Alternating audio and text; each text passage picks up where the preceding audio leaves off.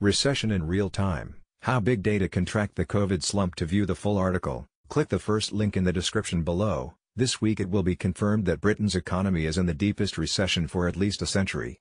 Yet only a few days ago, the Bank of England heralded a return to growth, forecasting a more rapid recovery than previously feared.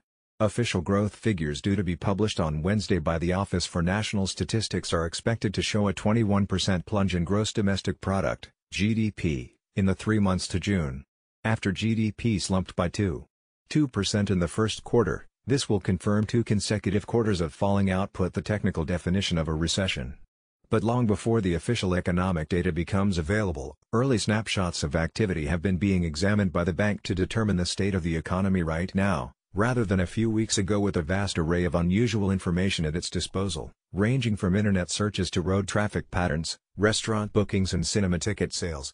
For the first time in millennia of economic events, the coronavirus pandemic could prove the first big data recession trackable in real time. It's unique in many respects, says Ruth Gregory, UK economist at consultancy Capital Economics.